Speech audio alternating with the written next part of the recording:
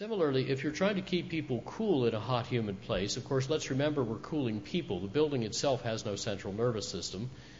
Uh, you know, you ask a Japanese person, uh, why don't you cool your house? And she says, why should I? Is the house hot?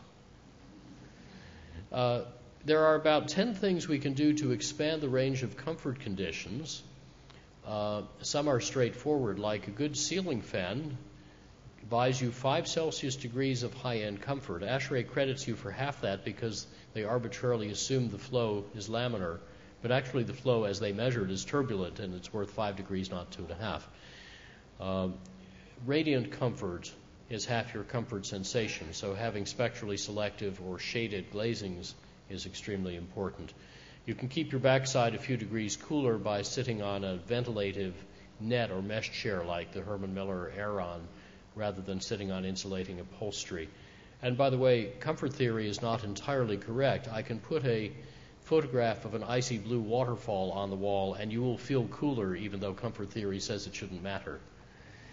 Uh, then, of course, it's vital to minimize unwanted gains of heat into the space from inside or from outside. Then there are passive cooling methods, which are employed very effectively in all traditional architecture, including the old Singapore verandas. Uh, and then there's active non refrigerative cooling. We can deal with latent loads with either desiccant or absorption, and then if we hybridize those with direct indirect evaporative, we can get over 100 units of cooling per unit of electricity if we're really good at it.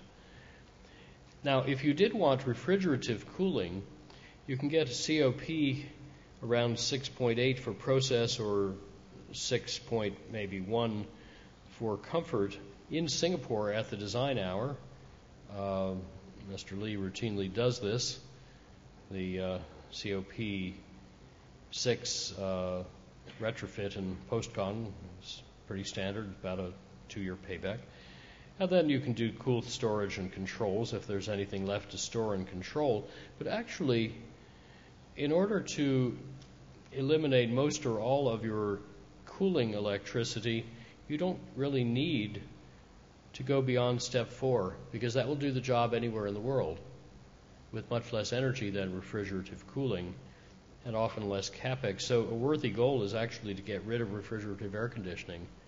If we really think properly about whole building design, uh, it's not as hard as it sounds. And I know you have a really tough climate, but we have a similar one in New Orleans. Uh, and we have classical old houses there that are very comfortable all summer with no aircon. They just do massing, shading, and ceiling fans. I've dug into Mr. Lee's practice. Uh, now at Trane, formerly at Supersymmetry Services, looking at standard uh, components of a big water-cooled centrifugal system in design conditions versus what he's able to achieve.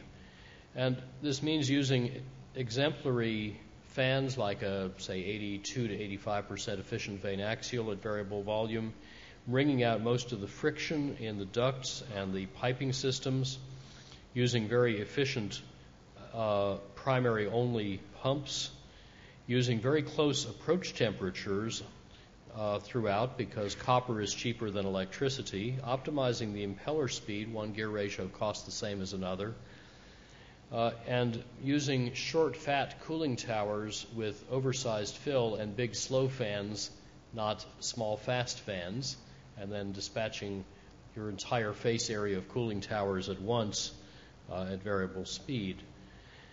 Uh, so this adds up to 0.58 or so kilowatts per ton COP6, uh, three times better than common practice, but cheaper and uh, gives better comfort, and including comfort over the whole turndown range. Uh, and if you're in a process application like a chip fab, you can push it to about 6.8 with a dual chilled water temperature. Uh, now there is a trick to it, and that is low face velocity, high coolant velocity coils.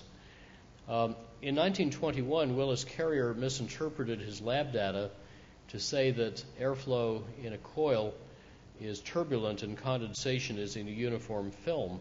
But actually, when Sam Luxton in Adelaide built a wind tunnel and looked at it, he found that the flow is laminar and the condensation is dropwise.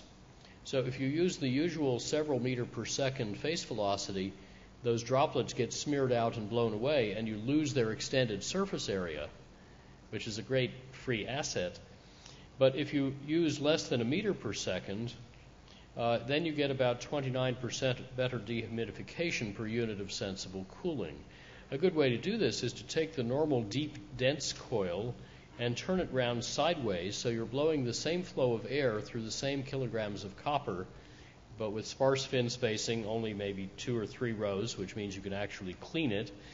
And now the airside pressure drop goes down by a factor 20.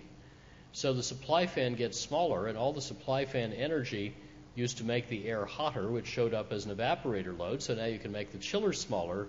In other words, the parasitic buildup now runs backwards. You get a virtuous circle instead of a vicious circle of parasitics. So the whole system again gets smaller, simpler, cheaper, and you get comfort over the entire load range with dramatically less energy. Of course, in air handling, the basic physics is the same as for pumps. And we're used to just looking at improving fan efficiency and motor efficiency as if everything else were immutable. And indeed, there's roughly a factor two opportunity from the best fan and motor systems and variable speed drive. But then there's a factor, often five or ten opportunity to wring out flow and friction. Flow by changing uh, the airflow according to your actual health goals real time sensors like CO2 sensors, displacement ventilation, which is much more effective than turbulent induction, and of course, reducing the amount of fresh air you need because you're not putting poisonous materials in the building, and reducing the amount of cool you need because the building envelope and equipment are more efficient. And then you reduce pressure drop by wringing out friction. It is astonishing to me that the standard ASHRAE technique for balancing ducts is that if you haven't enough friction in an unbalanced system, you add more rather than taking it away where there's too much. Uh, very strange. But, you know, because of the fifth power dependence, if you go from, say, a 50 to a 60 centimeter duct, you're saving 60% of your fan power right there. And the less um, flow you need to deliver coolth because you make the building and its internals more efficient, the more you are effectively upsizing conventional ducts because they've got less flow to carry. So if you combine all of these, then you can down, downsize the chillers quite dramatically as well as the fans. Uh, a couple of local numbers.